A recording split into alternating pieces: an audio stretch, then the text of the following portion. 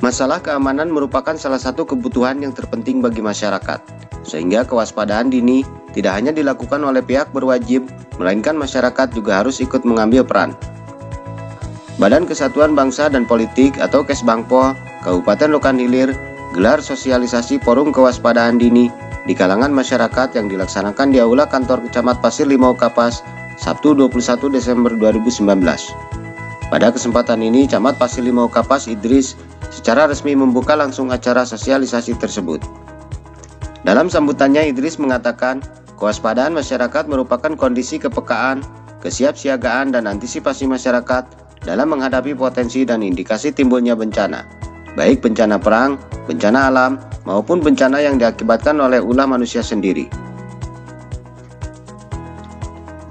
Karenanya sosialisasi ini merupakan suatu langkah yang sangat positif untuk bersama dalam membangun sikap kesiapsiagaan dalam menghadapi berbagai bencana yang dapat terjadi pada kondisi apa pun di sekitar kita dan ini patut didukung sepenuhnya demi melahirkan sikap kewaspadaan kita.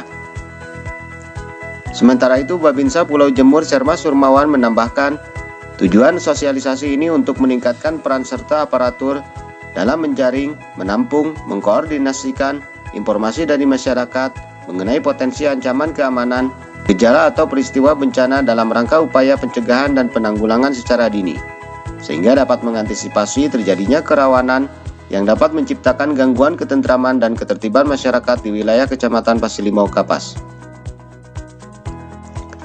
Sosialisasi kewaspadaan dini diikuti puluhan peserta dari unsur Kecamatan Pasilimau Kapas, tokoh masyarakat Haji Heri dan Haji Boymin, juga dari tokoh masyarakat Batak, A. Siregar, dan Ketua Tim Penggerak PKK Pasilimo Kapas Ani Idris.